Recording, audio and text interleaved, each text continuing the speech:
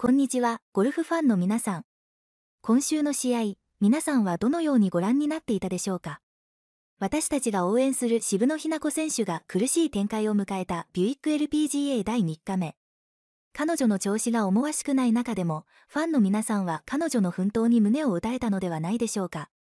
ショットが最初から最後までタイミングが合わなかったという彼女の言葉は、プレーの中で感じた苦悩をそのまま伝えており、私たちにとっても心を揺さぶられる瞬間となりました。では、一体何が起こっていたのでしょうか？そして、彼女がここからどう立て直すのか、皆さんも興味を持たれていることでしょう。苦しいスタート、しかし見せた意地。ビュイック LPGA の3日目、渋野日向子選手は63位からスタートしました。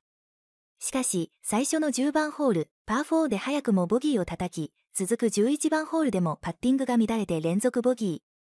まさに苦しい出だしでした。ショットの安定感が欠け、グリーンを捉えることができず、リカバリーも厳しい展開に。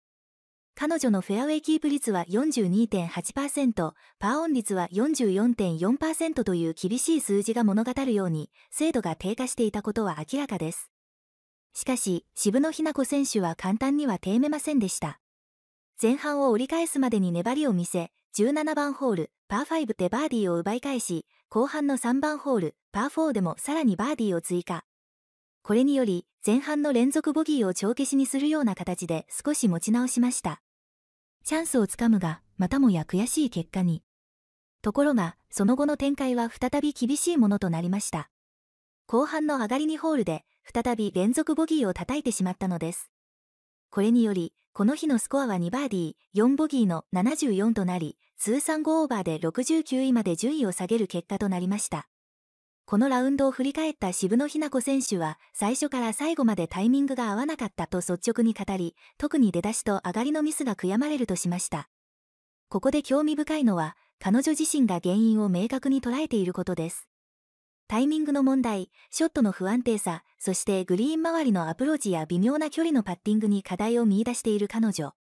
しかし、これらの課題が浮き彫りになったにもかかわらず、いくつかの場面では非常に輝かしいプレーも見られました。光るプレーと未来への希望。例えば、15番ホールでは見事なアプローチを見せ、ピンに対して非常に正確なショットを放ちました。左サイドに外したセカンドショットからのアプローチは、まるでバンカーショットのように巧みに傾斜を利用し、ピンに寄せた素晴らしい位置だ。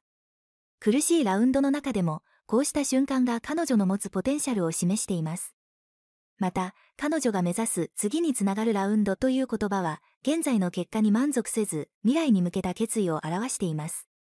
バーディーチャンスをもう少し作れるように、ショットとパッティングを頑張りたいという彼女のコメントは、未来に向けた強い意志を示しており、ファンとしてもその言葉に力強さを感じざるを得ません。